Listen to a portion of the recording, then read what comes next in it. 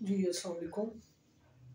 आज का जो टॉपिक है, वो सिविल इंजीनियरिंग इम्पोर्टेंट फ़ील्ड जो टेक्निकल इंजीनियरिंग इन से रिलेटेड है, जिसके अंदर हमने पहले क्ले को डिस्कस किया, फिर उसके बाद सैंड और सिल्ट को डिस्कस किया, और अभी हम डिस्कस करेंगे सॉइल की टाइप्स ग्रेवल्स को और कोबल्स एंड बोल्डर्स को और ऑर्गेनिक मैटर को। सबसे पहले जो ग्रेवल्स ग्रेवल्स वो वाली सॉइल होती है। ये सबसे पहले फाइन सॉइल भी नहीं आएगा, ये कोर्स सॉइल स्टार्ट हो गया ठीक है सैंड तक जो हमने पढ़ा है क्ले सिल्ट और सैंड ये तीनों आती हैं फाइन सॉइल्स में। अब ग्रेवल बोल्डर्स एंड कोबल्स ये आ जाती हैं कोर्स सैंड में कोर्स सॉइल में सॉरी ठीक है, अब हमने सॉइल जो पढ़नी है वो है ग्रेवल ग्रेवल की इस, ये जो सॉइल होती है, इसका साइज़ होता है टू एम एम से लेकर सिक्सटी एम एम तक। Good foundation material number two point है good foundation material good foundation material इसलिए क्योंकि ये ग्रेवल्स जो है, ये पत्थर होते हैं, ठीक है? कोर्स सॉइल है, यानी कि बड़े पत्थर हैं और बड़े पत्थर जो होते हैं, उनकी ताकत बहुत ज़्यादा होती है।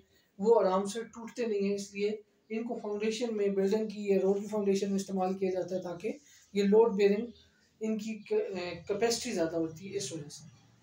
Number three high frictional resistance high frictional resistance इस वजह से क्योंकि ग्रेवल्स जो होते हैं, इनके दरमियान जब ये आपस में लो कप हो जाते हैं तो ये स्लाइड नहीं करते ठीक है, जब ये स्लाइड नहीं करते और स्लाइड इसलिए नहीं करते क्योंकि ये लो कप हो चुके हैं, और लो कप होने की वजह से इनकी फ्रिक्शनल रेजिस्टेंस ये फ्रिक्शन की वजह से बहुत ज़्यादा इनके दरमियान मौजूद होती है, ये मूव नहीं कर सकते।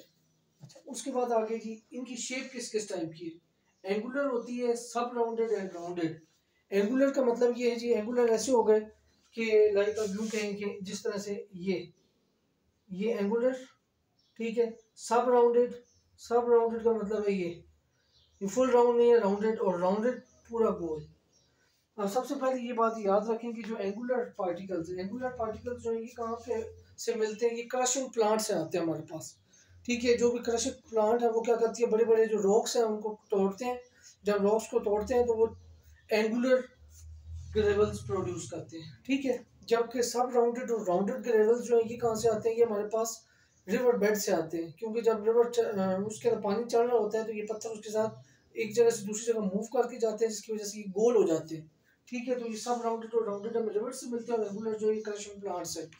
फाइव पॉइंट है जी use in upper layers of pavement use in upper layer of pavement pavement यानी कि रोड का जो भी स्ट्रक्चर है, चाहे रिजिड पेवमेंट है, चाहे फ्लेक्सिबल है, उसके अंदर ये अपर लेयर अपर लेयर यानी ऊपर ऊपर वाली लेयर्स में इस्तेमाल इसलिए किया जाता है क्योंकि इनकी ताकत ज़्यादा है और रोड के अंदर भी अपर लेयर्स के ऊपर ट्रैफ़िक का जो लोड होता है, उसकी इंटेंसिटी ज़्यादा होती है। इसलिए ज़्यादा इंटेंसिटी को बर्दाश्त करने के लिए ये ऊपर इस्तेमाल किए जाते हैं ताकि रोड को ऊपर से स्ट्रक्चर तबाह ना हो। उसके बाद हाई परमिएबिलिटी हाई परमिएबिलिटी ये इस वजह से क्योंकि इनके दरमियान बड़े बड़े सुराख होते हैं बहुत बड़ी मतलब गैप्स होते हैं ग्रे, ग्रेवल्स के दरमियान तो पानी आसानी से ऊपर से नीचे की जानब जा सकता है। यानी कि सरफेस ऑफ़ से लेके ज़मीन के अंदर आराम से जा सकता है। अच्छा उसके बाद है जी bearing strength bearing strength is increase when used with sand and silt अब मैंने आपको पहले पॉइंट नंबर फोर्थ सिक्स में ये बात बताई है कि जी इनके दरमियान बहुत बड़े बड़े खला होते हैं जिसकी वजह से परमेबिलिटी इंक्रीज हो जाती है।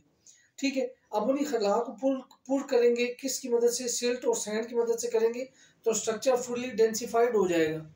लेकिन फुल्ली डेंसिफाइड होने की वजह से उसकी स्ट्रेंथ तो बढ़ जाएगी बेरिंग स्ट्रेंथ जो सेवन पॉइंट में लिखा हुआ कि बेरिंग स्ट्रेंथ तो बढ़ जाएगी, लेकिन एट द सेम टाइम उसकी परमिएबिलिटी जो है वो रिड्यूस हो जाएगी। ठीक है सिक्स पॉइंट में हाई परमिएबिलिटी होगी तो जब इन्हीं ग्रेवल्स के अंदर सैंड और सिल्ट डालेंगे तो परमिएबिलिटी जो है वो रिड्यूस होना शुरू हो जाती है। ठीक हो गया जी।